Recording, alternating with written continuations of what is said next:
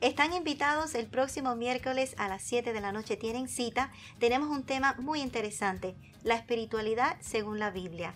Conmigo se encuentra director gerente de Passaway, Andrés Señor, y vía Skype desde Honduras tenemos el pastor Giovanni Perello Igan. ¿Cuál es el mejor camino para el desarrollo espiritual? Contáctanos la próxima semana que vamos a tratar de este tema tan interesante.